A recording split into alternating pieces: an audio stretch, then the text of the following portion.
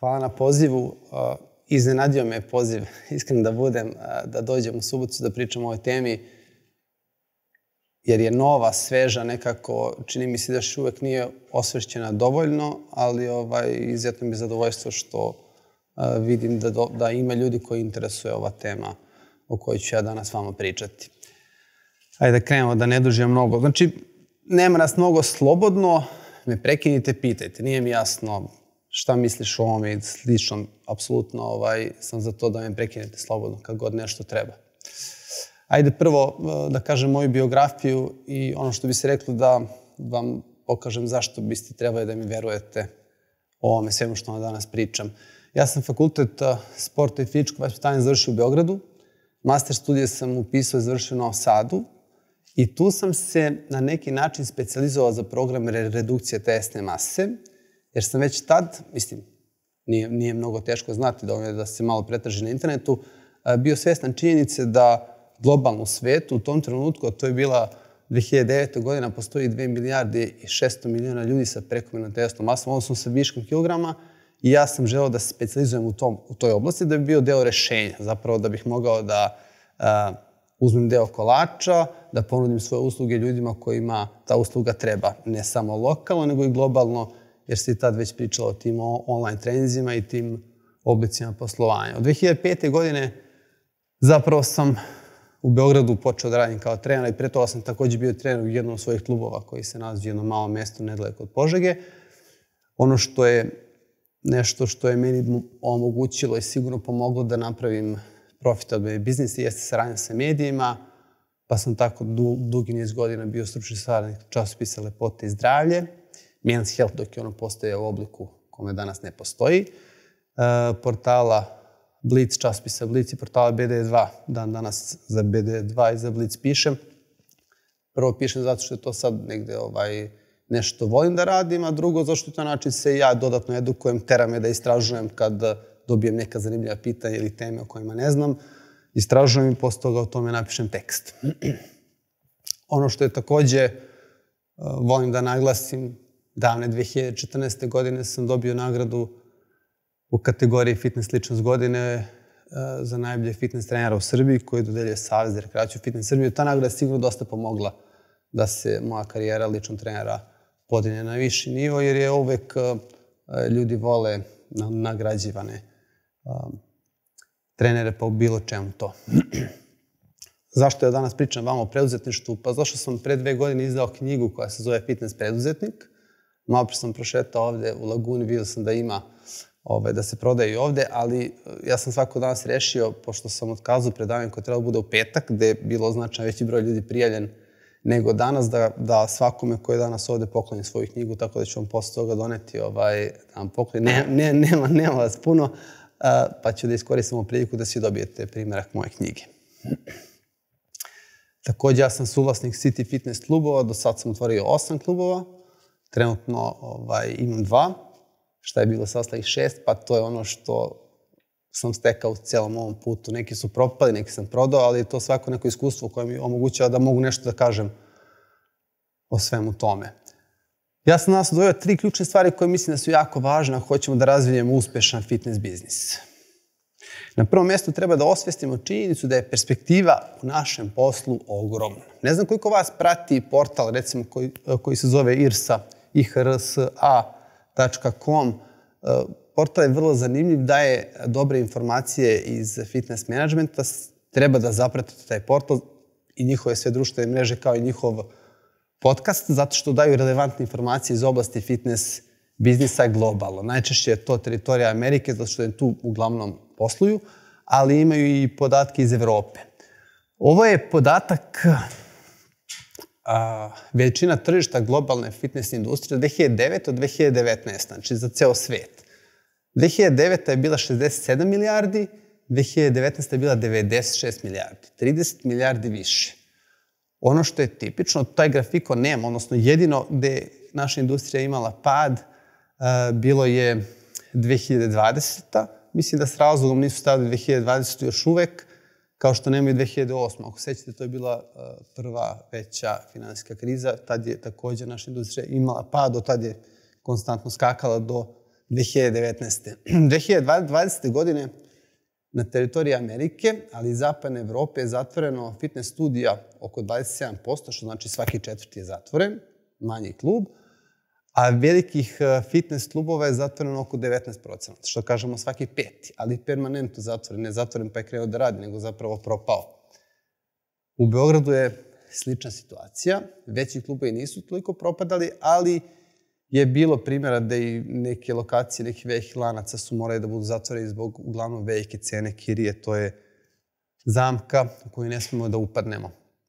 Ono što je takođe jako važno da znate, a verujem da i vi to vidite, kod nas sve više ljudi se edukuje za ovaj posao. Sve više trenera se edukuje kroz razne, razne strukture da postane fitness trener. A ono što je možda još važnije, sve više ljudi sad već ne samo da ima želju da angažuje trenera, već i potrebu za to.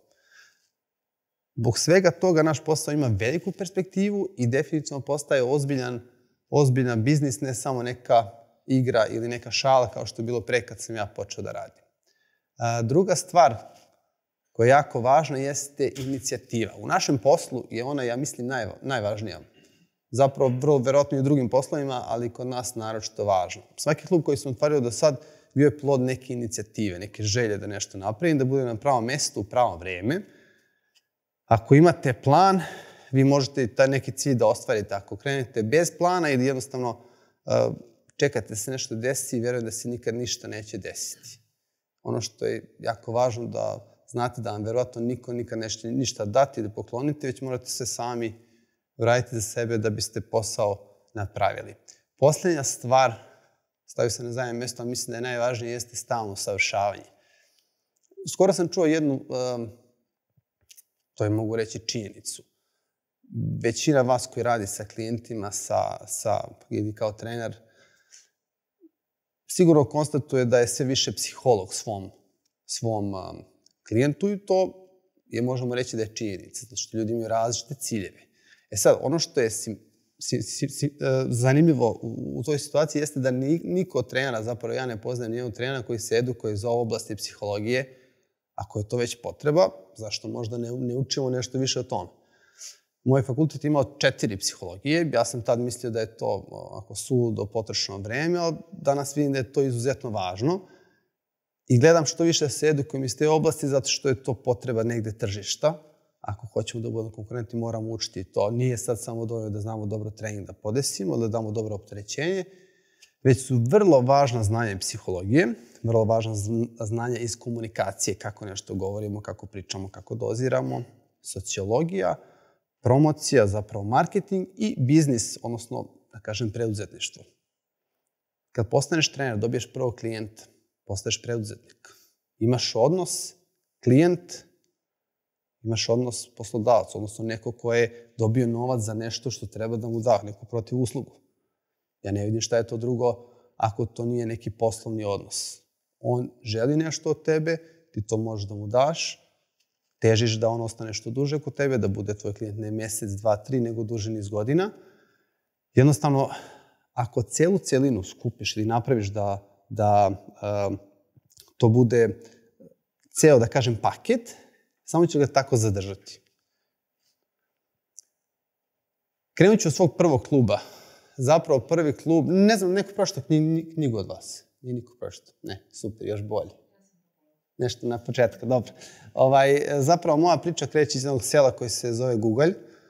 Nalazi se između Lučana i Požege. Sad ja sam napravio tu foru u jednu knjizi. Ovaj, niko ne može zapamtiti kako se selo zove a zapravo je vrlo slično Google. Ja sam iz Google-a, ovi koji rade iz Google-a su iz Google-a. 97% slično, samo jedno malo slovo je, je razlika. Zašto je važan Google? Zašto sam tu otvorio svoju prvu teretanu? Sa svojih pet drugara sam 2003. godine ovu teretanu napravio. Sad ova slika od pre par godina prilično je ronula sad. To je uh, zgrada mesne zajednice gde je ova prostorija bila prazna. Mi smo uh, generalno bili aktivno seo, dosta smo ovaj, uh, se bavili sportom, naročito toko leta, pravili raznorazne turnire, ali problem je bila zima.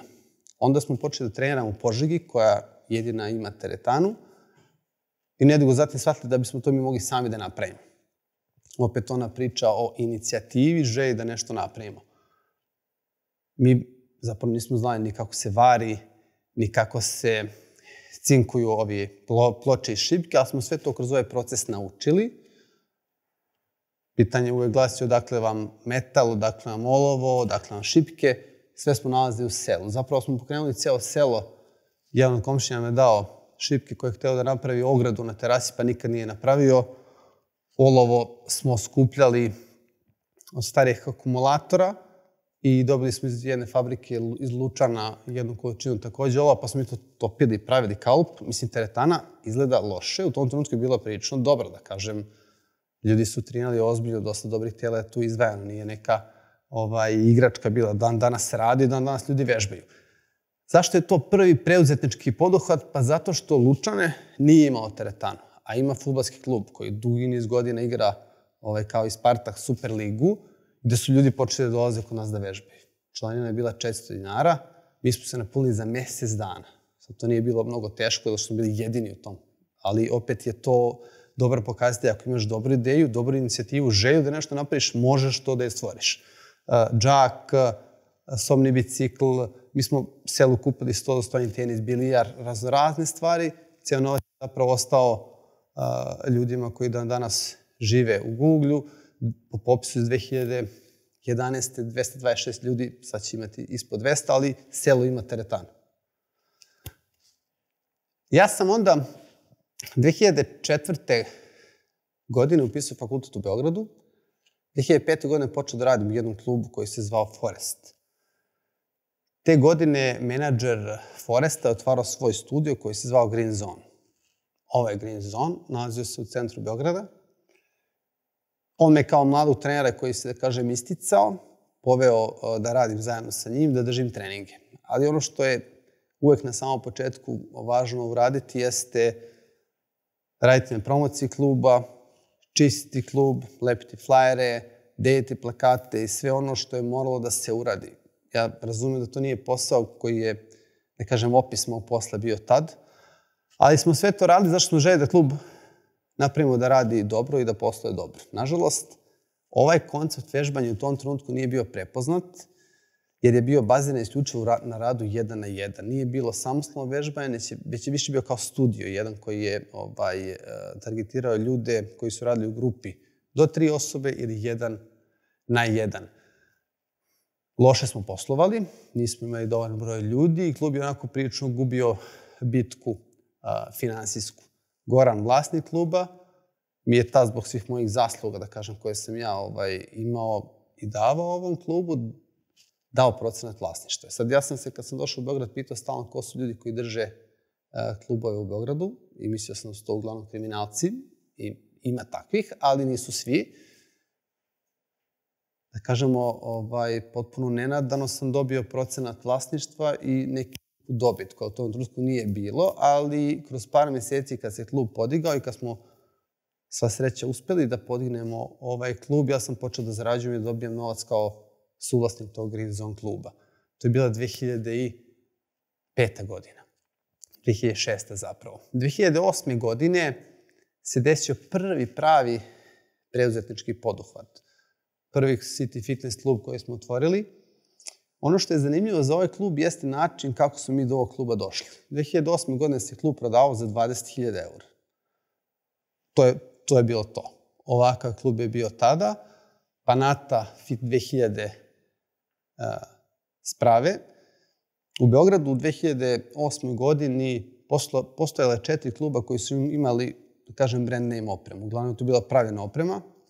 Ima je samo četiri kluba koji su imali brendiranu opremu. Jedan od njih je bio a, Saruna Fitness Wellness, pre toga Big Fit, a tada City Fitness kada smo ga mi preuzeli. Naravno nismo imali novac. Ja sam bio još uvijek student, Goran je bio moj partner dekintiran u Green Zonu, ali smo dobili informaciju da se klub prodaje za 20.000 evra. Ja sam baš otišao da vidim jer mi je interesovao šta to košta 20.000 evra, kakav je to klub. I otišli smo da ga, da ga pogledamo. 220 kvadrata, nalazi se u blizini Vukov spomenika, možemo reći, u centru Beograda. I sad naslov moje knjige je Fitness preduzetnik, a zapravo je možda trebao da bude kako sam sa 400 evra otvorio teretanu u centru Beograda od 220 kvadrata, jer to je zapravo istina. Novac nismo imali, ali sam želeo da pokušam na neki način da dođem do tog kluba. Shvatio sam da bi možda rešenje moglo biti da mi taj prostor, odnosno prostor iz prave izrentiramo od osobe koje je taj klub prodavao. Jedan čovjek je rentirao prostor, jedan čovjek je prodavao sprave. Zakazali smo sastanak sa tim čovjekom koji, koji, je prodavao te sprave i e, izneo sam mu našu ponudu. Zapravo je ponuda bila da li biste vi hteli da nam izrentirate opremu, da mi uđemo da probamo bar mesec dana, dva ili tri, kako će to ići, pa posle toga možda bismo mogli to i da kupimo. On je a, ozbiljan čovjek, da kažem, bio je ta direktor sportskog fonda Cepter, direktor, ja mislim, i, i Ade Cingali u tom trenutku, je rekao, citiram, a, nemojte trošiti moje vreme, ponuda je a, 700 evra za mesec dana sprave i 833 evra prostor. Morate da mi platite tri meseca unapred, ponude uzmite ili ostavite i to je to. Sad, neka sujeta, ja sam tad imao 23 godine, ovaj, me je terala da dokažem da nisam neozbiljan i sećam se da sam usto i rekao, ok, dogovoreno može, ovaj, uzimamo taj klub i rukovali smo se sa njimi, krenuli smo nazad ka našem green zonu, gde sam ja počeo da sabiram, i ja i Goran smo sabirali zapravo šta su mi dogovorili. Dogovorili smo se da ćemo mu sutra dati gotovo 5000 evra. Ja sam pitao Goran, Goran, koliko ti imaš novca? On rekao, ja nemam ništa. On me je pitao koliko ja imam, ja sam rekao, imam 400 evra. Čoveče, zašto si onda a, dogovorio kupovinu svega ovoga ako mi nemamo taj novac? Znate šta, negde kad ste mladi, onda ovaj, i nemate neke odgovornosti posebno velike, niti nekog posebnog razmišljanja. Ali meni se činilo, možda bi smo mogli da nađemo taj novac. Sad kad podeliš 5000 na dve osobe, to je 2500. To je duplo manje. Pa mi na pamet, šta bi bilo ako bi ja taj dan mogao da nađem pet partnera koji bi, da bi svako dao po 1000 eura. I odmah sam krenuo u realizaciju, isto trenutka. Znači, pet ljudi po 1000 eura mi taj klub možemo da uzmemo. Možemo da uzmemo klub u centru Beograda za po 1000 eura.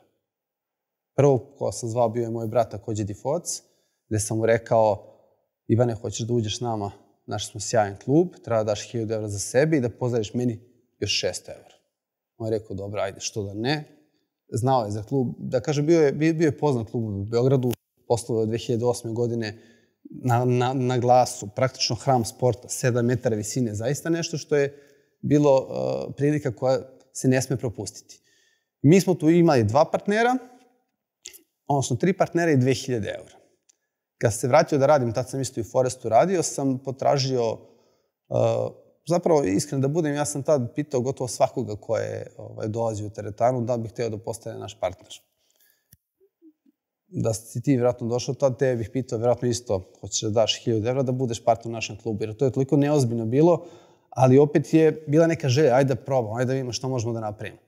Pitao sam obija drugara koji je sa mnom radio u Forestu, ovaj, da bih hteo da 1000 evra da uđe u posao, on je rekao na keca, hoću, strava, može, što da ne, ajde, radimo i imali smo 3000 evra i četiri partnera. Trebao nam još jedan partner i 2000 evra. Jedan momak eh, je bežbao u teretani redovno, bio je steward u Air Srbiji, zove se Vlada, i je sećam se da sam mu asistirao na benču, da sam u tom trenutku pitao Vladu da bih hteo da uđeš nama u posao da otvorimo teretanu njemu se već smučilo da više bude steward i rekao, ajde što da ne, koliko treba da dam para? Ja rekao, treba da daš za sebe hiljadu i Goranu da pozajmiš još hiljadu. On je praktično bez gledanja tog kluba to prihvatio i rekao, ok, ajde što da ne, nije to neki novac za mene, može. Ja sam u tom danu skupio tih 5000 evra, sutradan čoveku odneo i dogovorio za naravno tri meseca preuzimanje teretane koji su mi tad nazvali City Fitness klub. Ta smo postali. To je bio 1. novembar 2008. godine. I uh, ceo posao je išao 3 za 3 meseca. Nas pet je radilo sve što je trebalo da se radi. Od smene čišćenja, deljenja flajera, održavanja tog kluba. Praktično nigde novac nije išao, sve ostajalo kući i mi smo skupljali novac za naravno tri meseca.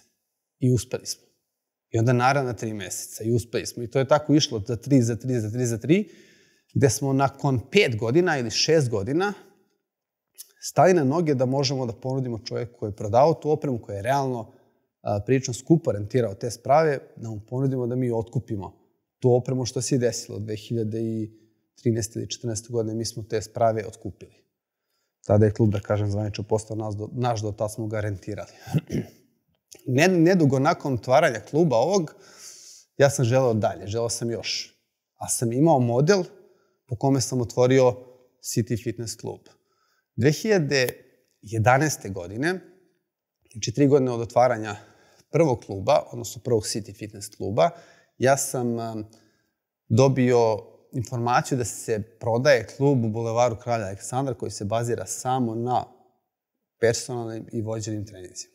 65 kvadrata u novoj zgradi na prvom spratu sa novom opremom, to je Sport Arts oprema, pa danas je da kažem premium, jer su na neki način oprali svoju biografiju, tada je to bila Kina, prilično nekvalitetna i loša oprema, bila je nova oprema i klub je bio baš lep.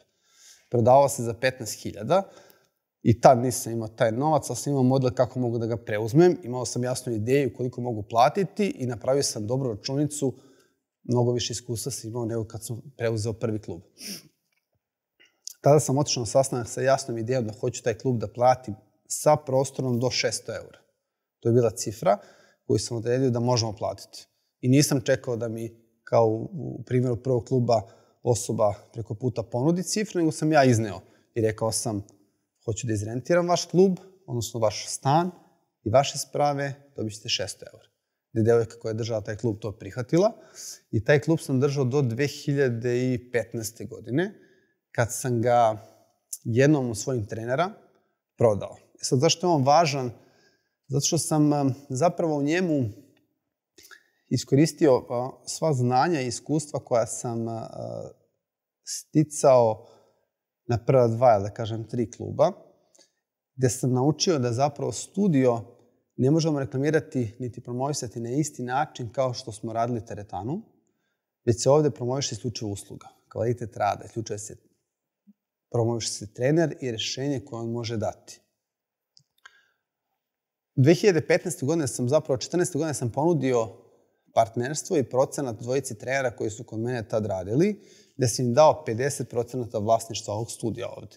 Znači 50% dobiti. To nisam dao zato što sam ja to, ne znam, nekak, ovaj, Bog zna kako dobar, već jednostavno zato što to bila uh, dobar način da klub raste i da ide da radi dalje. Prvo ja sam na taj način dobio svoj prvi udeo vlasništva, onda sam teo da isti model primenim i da uvedem neke nove ljude ovaj, u posao. Ta dvojica momaka su prilično dobro posao radili, da su, da kažem, onako ovaj, kopali uh, i trudili se, uh, davali veliku energiju da klub uspe. I klub je radio prilično dobro do momenta dok jedan od te dvojice nije zatražio da mu ja prodam taj klub, što sa velikim zadovoljstvom i radio, jer je to bilo, da kažem, taj moment za prodaju tog kluba, gde je taj klub njemu vredeo mnogo više nego što bi vredao bilo kome od vas ovde, jer je on je tu radio, njegovi klijenti su bili tu i ja sam dobio priču do, dobar novac svega toga. Opet, većini svojih trenera pominjem taj klub zato što je to dobar način da se uđe u posao.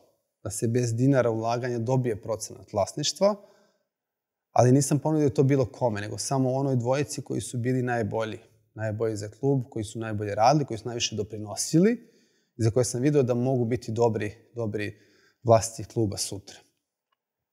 Ovo je priča o klubu koji je trebao da bude naš najbolji klub. 2014. godine u pitanju, tad sam i daje držao City Fitness Studio. Uh, klub se nalazi u krugu dvojke u Beogradu, to je 27. marta ulica. Nije neka velika kvadratura, ali se zvao Superior Gym. Zvao se Superior Gym zašto je zaista bio superior. Znači, 2014. godina on ima Techno Gym Selection opremu, koja je dan danas premium oprema, ima Running Side trake koje su dan danas premium trake, i moj je jedan od prvih kluba u Beogradu koji ima one Hex bučice sa Eagle gripom, koji se spušta sa strane, koji sad, da kažemo, i nešto što nije, nije čak ni premium, nego je ovaj, e, da kažemo standard, tad je bio premium. I klub je zaista bio superioran. Jedan od redkih koji je bio iznad nivoa zemlje. Svi prozori su gledali na park, imao je sjajne slačionice, prostor baš adaptiran za fitness klub. Prilika kakva se pruža jednom u životu. Klub se prodaje, mi tad već imamo novac da taj klub možemo da kupimo. Znači, to je prvi klub koji smo kupili za keš, gde je isplaćeno, zapravo cena je bila oko 30 nešto hiljada evra, mi smo tu isplatili 30 hiljada evra za taj klub. Ja sam pre nego što smo uh, završili tu celu transakciju i pre nego što smo uh, preuzeli klub, naravno pregovarali nekoliko meseci oko smanjenja te cene, a iskreno da budem, dolazio sam u klub samo da gledam opremu. Kupovao sam klub u radu, a jedino šta sam proveravao, proveravao sam da li trake rade, kako radi ovaj šut, kako radi ovaj cross, kako radi ovaj, ovaj Smith, zato što nisam znao šta drugo treba da proveravam.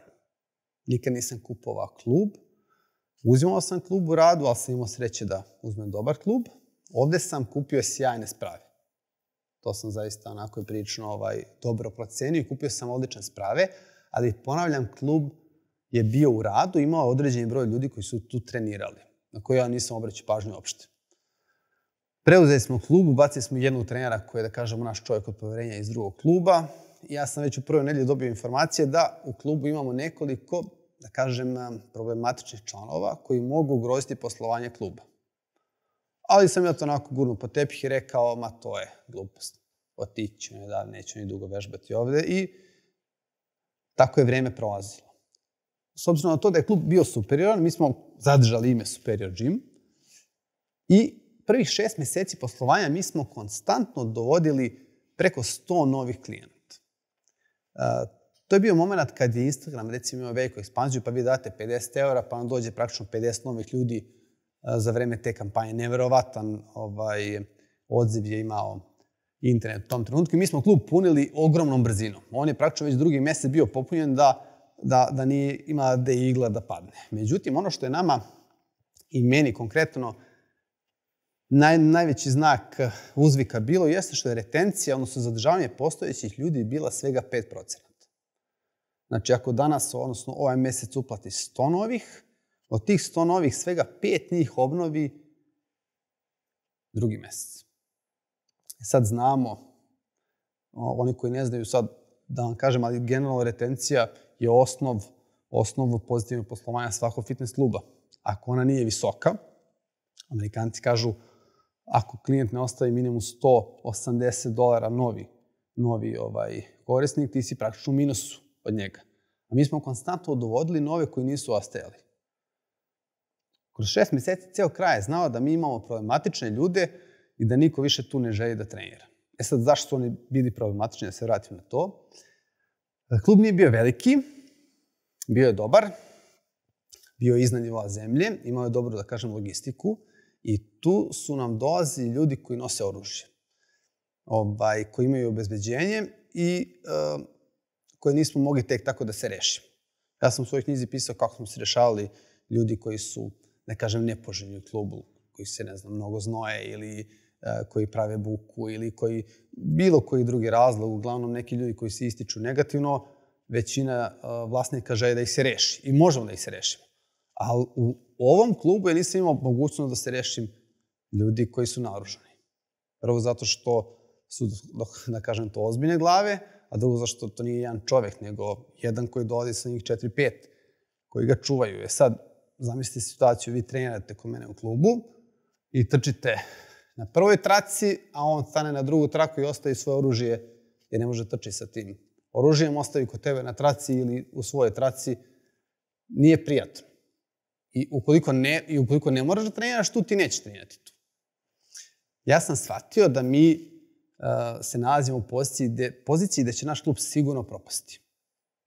Jednostavno, sve manje i manje ljudi je bilo, pokušao sam neke rešenja, hteo sam da im ponudim 2-3 sata dnevno da klub zatvorim, da dolaze samo oni u tom trenutku. Međutim, ništa to nije bilo trajno, niti je bilo dobro. A onda sam se setio da bi um, jedini izlaz iz svega toga bilo da potpuno promenim namenu kluba i da priznam i da prihvatim grešku i da priznam gubitak, odnosno da prihvatim da ću izgubiti ogroman novac u tom klubu, što se i desilo nakon godinu i po dana. Nakon godinu i po dana mi smo prodali svoju superinu opremu, praktično u 10 dana. Ja sam morao da iznesem sve ovo, da potpuno rebrendiram klub.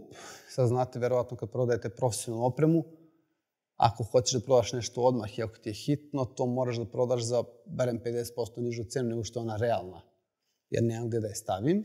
I onda sam dao, što bi rekao naš narod, buj zašto, samo da to ode.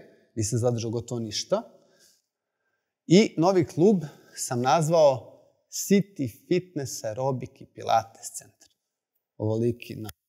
Sad, ako i, i ole znamo o marketingu i ako vidimo kako se danas klubovi zove, ko normalno daje klubu toliko ime.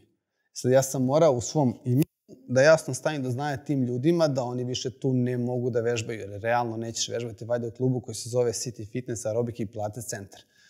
Zadržao sam samo bučice do 10 kg, jedan multifunkcijni trenažer sam kupio, zadržao sam jednu traku, ne znam, dole ima, u donjem dijelu je bio steper i eliptik i bazirali smo se um, zapravo rad na personalne treninge i na uh, grupne treninge. Ovde u ovom cijelom dijelu je bila sala zapravo za grupni trening gde smo radili taj aerobik i pilates.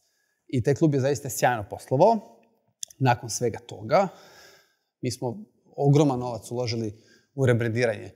Od, od, od, od zidova preko gledala, odnosno prozora, spoljnih reklama, sve moralo to da bude u novim bojama koje su bile plavo-bele. Ne znam da li to imam, nemam. Ovaj, nemam tu sliku. I klub je super poslovao. Počeli smo da zarađujemo, ja sam se, onako da kažemo, pao mi kamen srca što sam se rešio ljudi koji nisu dobri za biznis. Dan danas ti ljudi, to je zanimljivo, recimo, ovaj, meni je jedan klub nedaleko odavde, ali nisu hteli da pređu taj klub sa sreća, zašto se klub nalazi u suterenu i zašto logistički nije dobar. Nije dobar da imaš jedan izlaz i onda nisu te da pređu tu. Sva sreća. Zamisli situaciju da sam zatvorio ovaj klub i da su mi prešli u drugi klub. Pa to je bilo samo ubistvo, bukvalno. A sreća nisu. Dan danas ih viđam u kraju. Mislim, ja tu, tu smo 14 godina praktično poslujemo, viđam ih i dalje. To su fini ljudi, nisu to da kažemo neki uh, probisvet ili tako, ozbiljna gospoda koja te časti piće, ali jednostavno ne, nije dobar za posao. City Fitness Aerobic i Pilates centar nije imao dobar, dobar kraj i, i klub, iako je poslovao dobro, on je, što je zanimljivo, poslovao dobro do poslednjeg svog dana. Vlasnik prostora koja su mi rentirali uh, ovaj lokal je bio Merkur. To je slovenačka firma, možda se neko i seća, koja je imala velike uh, markete u celoj Srbiji. Između ostalog, to je bio njihov lokal i oni su otišli u stečaj. I nama februaru mesecu 2016. godine stiže mail da nam kažu da prodaju sve svoje lokale, stečajni upravnik, i da moramo da ispraznimo lokal u roku od mesec dana. Stiže nam sezona, februar, mart, april, mi mislimo sad ćemo pare neke da uzmemo, mi moramo da prestanemo da prodajemo sve članarine i moramo sve one članarine koje smo naplatili praktično ljudima da vratimo. To je, da kažemo, rizik poslovanja u prostoru koji nije tvoj. Ja i dalje poslujem prostorima koji nisu moji. I prihvatio sam taj rizik i rekao sam, ok, tako mora biti. Opet smo iznali spravi koje smo imali, sve što smo imali unutra i krenuli smo dalje. Taj pad, generalno, Superior Gym i City Fitness Aerobic i Pilates centar uh, me je koštao prvo ogromno količine novca. Dosta seda sam dobio zbog ta dva kluba ali e, sam tu naučio mnogo stvari koje su mi kasnije pomogle da napravim naš najbolji klub danas. To je City Fitness Voždovac. Sve ono što sam, da kažem, loše uradio u Superioru i, i City Fitness Aerobic, u Pilatesu, sam ovde ispravio. Saznao sam da se klub e, prodaje i ona priča, ajde da se vratim na početak o inicijativi. Ja svaki klub koji sam e, kupio i koji sam preuzeo, nisam našao ni jedan u oglasima. Zapravo se takvi klubovi gotovo nikada ne prodaju. Za ovaj klub konkretno sam cimao ljude koji prodaju opremu, pa ja mislim da sam jednom mjestu zvao, nisam zvao Dimitra iz Bodyline, ja sam zvao Jošu Kolaka, zvao sam ovog Ogena iz Pro Sporta, jer sam s njima više sarađivao, pa sam ih zvao svaki mjesec dana još imali kakav klub prodaje se nešto. Jer sam znao da će bilo ko ko hoće da, i, da izađe s posla ponuditi njima opremu. I sva sreća je bila da u jednom trenutku ja zovem još i on kaže ima Milane klub na Voždovcu, čovek prodaje dve lokacije, ja ću da uzmem Zemun polje, ti ako hoćeš uzmi Voždovac. Ja odem isto to veče. Obiđen klub, pogledam i vidim sjajan prostor, 550 kvadrata, sve je u staklu, na dva nivoa. Nema greške. Što se tiče lokacije, nema greške. U tom istom danu sam obišao i okolo sve teretane, zapisao koje kvadrature oni imaju, pokušao da definišem probleme koje oni imaju i možda nešto što loše rade u svom poslovanju, ali sam takođe i u klubu koji se zvao Peter Public, koji smo mi kupili 2017. godine, odmah uh, shvatio zašto on radi loše i zašto on svoje lokacije prodaje. Problem su najviše bili ljudi, odnos, ta neka komunikacija, nezainteresovanost ljudi koji su tu radili i odmah sam definisao probleme i greške. E sad, ono što sam naučio u prethodnom klubu, a to savjetujem vama da uvek dobro obratite pažnju, jeste da analizirate klijentelu koja tu trenira. Da analizirate ceo kraj. Ja sam prvo bio u fazonu gde ćeš bre na voždovac, ti godina se piše o voždovačkom klanu, rekao mora da se opet tu neki kriminalci u tom kraju 100%. Koliko sreće nemam, bit će tačno kod mene ovde. Međutim, nije bio taj slučaj. Za divno čudo, vrlo fini, mladi ljudi uglavnom. I ono što mi je bilo zanimljivo gledajući analize poslovanja tog kluba koji je poslovao realno kratko, sam shvatio da ima konstantan broj klijenata, ne veliki, ali tokom cijele godine. Što mi je jasno ukazivalo na to da tu uglavnom ne vežbaju studenti, nego vežbaju ljudi koji tu žive, za razliku od mojih drugih kluba koji su uglavnom bili uh, na lokacijama gde ima dosta, dosta studenta. Imali su stabilno, da kažem, stabilan broj ljudi, iako ne stabilno poslovanje, ali stabilan broj ljudi i neke verne, verne korisnike, verne klijente. Nije ih bilo mnogo, ali ih je bilo. Analizirao sam na početak lokaciju, sabrao sve klubove koji posluju u tom, u tom kraju i shvatio da takav klub 550 kvadrata i te kako ima mogućnost da bude pun i da se razvije da bude odličan. Dogovorili smo cijenu i vrlo brzo smo ga preuzeli. 2017. godina je bila, mislim, to je bila prilika koja uh, se ne propušta. Ja sam želeo po svaku cijenu da mi tu uđemo, a to je bio moment kad sam uh, 2017. u aprilu, ovo je bio avgust, ja sam tad podigao stambeni kredit, potrošio ceo novac za stan, zadužio se još dodatno da bih kupio stan, ali je došla prilika koja se ne odbija. I morao sam da nađem način opet da uđem u ovaj klub gde sam dodatni novac pozajmio. Kupovina ovog kluba je bila 50.000 i nešto. 50.000 i još nešto, stotina eura je bila cifra koja trebala da se platiti. Ja sam ja pozajmio svoju polovinu, odnosno ušao sam partnerski sa vladom sa početka priče. E, I klub eh, je poslovao sjajno, samo početka. Ono što je bilo tu, eh, mislim da ključna stvar koja se desila zapravo što sam ja uključio svoju suprugu Jelenu da radi u tom klubu i da vodi taj klub, gde je ona prilično dobro organizovala ljude, napravila sjajnu organizaciju i podigla generalno poslovanje naš klub na još veći, veći nivo. Ovo je klub koji je rebrendiran prošle godine. Naše boje su plave, inače, bile, kao što vidite na ovom logu ovde, nisu skinute sa sprava. Mi smo ove godine promenili podove, promenili boje, promenili sprave. Sve su druge sprave, ni ništa od ovoga nije, nije trenutno ovako kako jeste, sve još bolje. I taj klub je zapravo uh, rezultat eh, svih onih gubitaka koji su bili na prethodna dva kluba i lekcije koje sam tu naučio. Od kupovine opreme, kupovine kluba u radu do analiziranja poslovanja celog. A, bilo je jako važno a, pasti da bi se desio ovako dobar klub. Opet je to ovaj, nek, neki rezultat inicijative. Najnoviji klub koji je otvoren 2019. godine, ne, 20. godine posle COVID-a, Zove se, zapravo poslo u West Medicu klinici na Novom Beogradu. Zašto je ovaj klub revolucionaran? Zato što se mi unutar ovog kluba bavimo poslom i, i, i koji se zove zapravo medicinski fitness. Sve više pričam o tome i mislim da je jako važno pričati među kolegama o tome zato što je to, po mom mišljenju, budućnost naše posla. Tu se bavimo rešavanjem zdravstvenih problema kroz fizičku aktivnost. Evo, ja imam statistiku uh, većine, zapravo gotovo svih ljudi koji dolaze kod nas da treniraju sa trenerom, bilo vođenje, bilo personalnih. Preko 80% njih će reći da dolazi zbog redukcije tesne mase. Preko 80%, čak je bilo i 90 nešto posto u trenutku tih ljudi koji... Ali većina tih ljudi imaju, pored toga, zdravstveni problem koji trebaju da reše.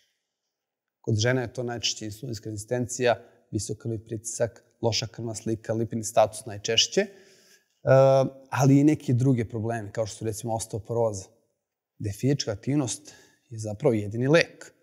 Sad, u teoriji znamo da trening snage utiče na poprični presak mišića, tkiva. A i takođe iz teorije znamo da a, spoljna sila, odnosno opterećenje koje mi a, pružamo našoj muskulaturi, utiče na gustinu same kosti. Na taj način se kost adaptira na spoljno opterećenje koje mi dajemo konstantno iznova, iznova iz treninga u trening. Sposobnost adaptacije. Šta je drugo povećanje gustine ovaj, kosti nego rešavanje problema uh, osteoporoze. A to trening može da uradi. I to je ono što je jako važno da, da, da danas treneri znaju da više gotovo hipertrofija nije cilj nikome i da se ne edukujemo samo za hipertrofiju i za bodybuilding, nego da se edukujemo da možemo da pomognemo ljudima na različiti način, različiti način. Ono što je pionirski ovde, što sam ja hteo da primenim u West Medi klinici, jeste da ja time mogu da se bavim u mojim klubovima. Ali ako si deo medicinskog sistema, odnosno privatne zdravstvene ustanove, gde ti doktor pošalje pacijenta, odnosno klijenta, to je mnogo uh, veća razlika nego ako ja dođem neko ko ima problem sa osteoporozom ili, ili ga pošalje neki doktor, kaže mu trebao da trenira, to je mnogo bolje ako mu doktor diagnostifikuje da bi trebao da trenira. Recimo, ako je uh, u drugom stanju, odnosno trudnice, i nakon trudnoće ima neke probleme koje često imaju trudnice, kao što je diastaza, gde opet trening može pomoći, mnogo će to ozbiljnije shvatiti ako im to preporuči lekar i zamislite situaciju da to mogu da reše u toj medicinskoj ustanovi. E, mi smo to ovde radili. Šest meseci je trajao taj projekat. Nakon šest meseci se nismo dogovorili sa vlastnikom klinike da nastavimo dalje da radimo, zato što smo imali drugačije poglede, on je hteo da se bavimo nekim drugim stvarima, ja sam hteo da ostanem u tom medicinskom delu. I ono što ja radim poslednjih par meseci, što pokušavam da, da proguram ne samo za sebe, nego i za sve vas i za sve ljude iz našeg posla, e, jeste da otvorim vrata medicinskih ustanova personalnom fitnessu. Medigrup je najveći sistem privatni zdravstveni u Srbiji. Mi smo imali dogovor da otvorimo u njihovom domu zdravlja, odnosno bolnici na Novom Beogradu, jednu prostoriju da bismo se bavili medicinskim fitnessom, odnosno personalnim treninzima. I to je sve prošlo dobro, odabrali smo čak i ovaj, ordinaciju gde će to biti i onda je stopirano sve samo iz razloga birokratija. To je zato što medicinski odnosno sportski stručnjak ne može da radi u medicinskoj ustanovi, ne može da drži treninge pacijentima ukoliko nema završenu bilo koju medicinsku školu. Znači, može da bude medicinski tehničar, može da bude fizioterapeut, ali ne može da bude, makar bio dok, doktor sportskih nauka, ne može da potpiše izvešte lekara. Znači, na kraju svakog tretvana, treninga, ako ja držim ovaj, trening nekom ko ima zdravstveni problem, mi to moramo da upišemo na njegov karton. Taka je procedura, taka je zakon. To mora da potpiše neko ko ima medicinsku struku. To ne može da potpiše difovac. Iz tog razloga Medigrup nije hteo da to nastavimo, zato što jednostavno to onda nije moguće razvojati u tom meri, nego su zapravo hteli da, da, da mi taj program napravimo i da onda treninge drže fizioterapeuti. Što okay, nije loše, ali nije to ono što ja hoću. Zapravo to treba da rade sportski stručnjaci, ne fizioterapeuti. Imaju oni svoj deo, fizioterapija. Ovo je deo koji treba da rade ljudi koji se bave uh, fitnessom i koji se bave ljudima kroz sport. Šta je sledeći korak? Sledeći korak je uključivanje osiguravajućih društava koje će da pokriju troškove ljudi koji se leče kroz fizičku aktivnost. Vi ste verovatno svedoci ovde u Subotici, u Beogradu to je naročito slučaj, da je pre četiri godine ili pet godina došlo do velike ekspanzije fiziocentara. I to nije slučajno. U tom momentu privatni zdravstveni zdravstveno osiguranje su ubacile fizioterapije na spisak delatnosti koje je to osiguranje pokrivalo. Da više trošak nije bio na meni koji ja treba da platim ako hoću da radim neku terapiju, masažu ili me bole leđa, nego taj trošak pokriva moje osiguranje. Privatno. I tad su počeli da nišću razni fiziocentri širom Beograda, ali i širom Srbije. Moja ideja je da kroz uh, društvo osiguravača Srbije ubacimo termin medicinski fitness, da mi možemo da držimo tu, tu ovaj, treninge za sad u našim klubovima, a da osiguravajuća društva pokrivaju taj trošak. Jer sam siguran da će, evo mi smo ovde u prostoru gde su pretežno IT-ovci, da će većina kompanija, IT kompanija, želiti zdravog zaposlenog, a većina njih ima problem sa lubanim delom leđa. Ako ga bole leđa, ne može da sedi. Ako ne može da sedi, ne može da radi. Zato će kompanija hteti da mu plati osiguranje koje mu već verovatno plaća, a da on ode da vežba kod nas i da mu to osiguranje pokrije kao njegovu terapiju. Mogućnost da ozdravi, zapravo ozdravljenje. ako se to desi i ako osiguranja stave termin medicinski fitness u spisak um, dejatnosti koje pokriva prijatno zdravstveno osiguranje, ta će sigurno sam i svi medicinski uh, privatni naći način da implementiraju i da pored, ne znam, ORL ordinacije, ginekološke ordinacije uh, i slični bude sala za personalni fitness ili sala za medicinski fitness, gde će se vršiti terapije. To je suština. Mislim da je medicinski fitness budućnost naše posla i da je to način zapravo da se odupremo velikim lancima koji će sigurno doći. Znači, mi sad, ja mogu da vam pričam da treba dotare klubove od 1500 do 2000 kvadrata. Ja to nemam sredstva da otvorim, ali pokušavam kroz um, struku da ostanem konkurentan. Moja ideja je bila da otvorim stotine ovakvih studija širom Srbije, da svaka medicinska ustanova, bilo privatna, bilo državna, ima studiju za personalni fitness. Jer to je nešto što je implementirano ne u cijeloj Evropi, ali recimo u Švedskoj, koji su već 2016. godine uveli fizičku aktivnost na recept. To je suština. Da doktor prepiše fizičku aktivnost na recept pacijentu, a da mi to sprovedemo. U saradnji sa doktorom, naravno. Dobro, bilo je osam klubova. U svakom sam nešto naučio. Svaki je svoj model, da kažemo, Google je bila čista inicijativa, sve smo sami napravili. Nije nemoguće, naročito ako ste mladi, imate vremena, možete da, da ovaj, odvojite vreme da napravite to, imate dobre drugare, imate ovaj, a, a, prosto da biste to sve mogli da, da spakujete. Green Zone je bila čista inicijativa. Radio sam posao koji nije, da kažem, u teoriji treba da se radi, ali to je bila prilika da dobijem nešto iz toga što mi nije bilo plaćeno. City Fitness Club je bio model koji ja danas promovišem kao idealan model za neko ko te kreće. Meni se nudi, pa sigurno mesečno nekoliko klubova koji ajde traže da se prodaju ili ajde da vidimo da ovaj, mi platiš rentiranje, da ga iznajmim. To je super način. Ako nemaš novac na gomili, a većina ljudi koji kreću tek sad nema novac na gomili, moj predlog je da nađete klub koji je u problemu. Posle ću vam reći jedan uh, primer koji nisam još uvek realizovao, ali možda ću ga srediti. E, gde sam, e, zahvaljujući analizi, našao klub koji mi se sviđa. Zapravo ja sam tražio lokaciju u Beogradu. Meni je trebao klub na jednoj lokaciji. E, nisam imao ovaj prostor da iznajmim, nije ga jednostavno imalo po toj ceni koju ja mogu da platim i onda sam počeo da analiziram klubove koji posluju u tom kraju. Jedno ime se tu izdvojilo, gde sam primetio da na društvenim mrežama slabo komuniciraju, da su prilično neaktivni, da mi se čini da zapostavljaju tu lokaciju u odnosu na druge, u pitanju jedan lanac u Beogradu, da zapostavljaju tu lokaciju i onda sam putem opet drugih ljudi, konkretno ovaj, pro sporta koji prodaje opremu u tom klubu, zvao Ognjena i pitao da li bi mi proverio da se možda taj klub prodaje. Dobio sam informaciju da nije oglašeno, ali da bi mogli da razgovaramo na tu temu. Zapravo, treba da samo nađete klub koji je u problemu. Da je meni neko ponudio Superior Gym, Da je neko od vas došao i rekao je, Milane, daću ti 500 evra mesečno, izađi iz toga, ja ću to rešiti, ja ću to da vodim, ja bih rekao, ok, druže, evo ti klub vodi, to je to. Treba da pronađeš osobu koja ne zna šta će sa tim. Sad to ne mora biti neki veliki problem kao što je bio ovde. Ali većina, većina, da kažem, klubova ima neku cenu po kojoj bi se rentirala da bi skinula sa sebe te neke operativne stvari i jednostavno zarađivala novac.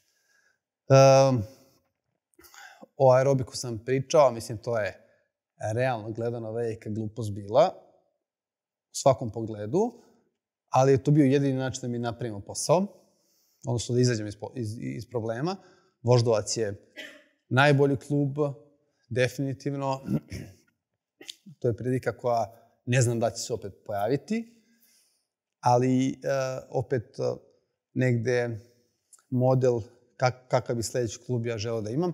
West Medic je uh, moj način da ostanem u poslu, jer ne mogu da plat, pra, pratim klubove od 2000 kvadrata, nemam milion eura da uložim u klub, ali dobar način da ostanem u poslu i da otvorim nekoliko desetina manjih studija gde ću se baviti usko stručnim poslom. Recimo, konkretno, West Medic je mene košta 10.000 eura. Znači, ja sam sa, sa West Medicom dogovorio da ja opremim klub, oni su mi dali prazan prostor. Tako je trebalo i sa ovim uh, Medigrupom da bude. 10.000 eura. U tih 10.000 eura ubacim traku, jedan DAP, kombinovan klupicu bučice od 1 do 10, TRX, uh, Pilates lopta, Ripstol, set tuber guma, dve strunjače, to je to. 10.000 eura je to. Imate ceo klub za posao za 10.000 i to je sve bilo novo, osim trake. Dobro, evo ga jedan primer. Recimo, ovo je, ovo je klub koji sam... Pa ja zapravo za ovaj klub pregovaram poslednjih godinu i po dana. E, to je ona priča gde sam našao klub, gde sam želao da nađem klub na određenoj lokaciji koji je u problemu i da mu ponudim da izađe iz toga, da ili izrentiram ili ja sam ovaj hteo da kupim zapravo. Ali evo vam analiza koju sam ja tad uradio za taj klub, da vidite šta sve treba da obratite pažnju kad, kad zapravo ulazite u jedan prostor.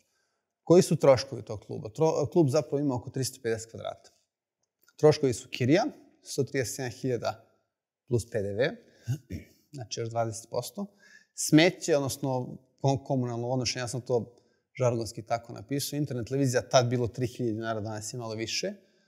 Staza, to je zapravo ono što imate na ulazu svaki klub. Ne, nedeljno se menja. Tad je koštalo 1200, danas košta 2000 nešto dinara. Struja na toj lokaciji je bila 13.000 dinara, danas ne znam. Čišćenje prostora je bilo 30.000, to je ponuda od te agencije. Grejanje je bilo 15, za plate 2 120.000, voda 2.500, sokoj 2.500 i ostalo je oko 20.000, da kažem, dodatnih troškova, sve ukupno 340.000, da kažemo 3.000 evra je potrebno od tih eh, osnovnih troškova da bi klub poslovao 300 nešto kvadrata. E sad, naravno, kirija može biti veća. Ono što je jako važno da vidite da je kirija najčešće gotovo polovina svih troškova. Većina klubova koji su u Beogradu zatvarali za vreme COVID-a, zatvarali su zato što su imali preveliku kiriju naš posao, barem to je moje, moje mišljenje, imam naravno i kolege koji s tim ne slažu, što je potpuno legitimno, jeste da naš, naša dejatnost teško da može plati preko 7 eura po kvadratu prostora. Imamo primere gde mogu neki klubovi da plati do 10 ako posluju unutar, unutar uh, tržnih centara, da imaju neke druge benefite, parkinga i slično, ali moje mišljenje je da je to veoma teško. E sad, evo vam klasična računica. Ako kažemo da i teorija i praksa to potvrđuje da je kapacitet jednog kluba od 300 kvadrata, 300 članova. Znači, teorija kaže jedan kvadrat, jedan član, mesečna članarina. Ako vi platite, recimo, naplatite tu članarinu 25 eura, je li tako? 25 eura, imate jedan kvadrat na jednog člana, a platite taj prostor 15 eura. Znači, vi u startu na pun klub plaćate 15 eura od te članarine, ostaje vam samo 10 još za sve ostalo da vam ostane zarada, da platite i plate, da platite sve ostalo. Kako da platiš prostor 15 evra po kvadratu, a da imaš uh, ovu članinu 25 evra? Jednostavno nemoguće. E sad neko će reći, ali možda može preko jedan na jedan. Može. recimo Nemci imaju uh, slučaj da im je čak na jedan metar kvadratnih šest članova. A to je zato što imaju članove koji plaćaju godišnje članarine, koji ne dolaze, ne treniraju. Znate vi šta je na recimo 100 kvadrata 600 članova? Pa tu ne može da se uđe, mislim, to je ovako. Kad je jedan na jedan, to je gužva. Evo, mi smo imali slučaj da bude do 1,7. To je katastrofa.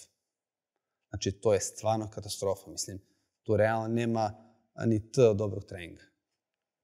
Ali, računajte jedan na jedan kad radite analizu. ja sam tri usluge stavio da imam u tom klubu, da imam vođene treninge koji koštaju 6000 dinara, to je do 6 osoba u grupi, individualni da koštaju od 150 do 200 i samostalno vežbanje da bude oko 3000 dinara. Ako pogledamo sve ovo, imamo recimo jasnu računicu da nam je za nulu potrebno oko 115 ljudi samo za troškove. Znači, troškove da ćemo mi platiti plate i troškove prostora. 120 ljudi.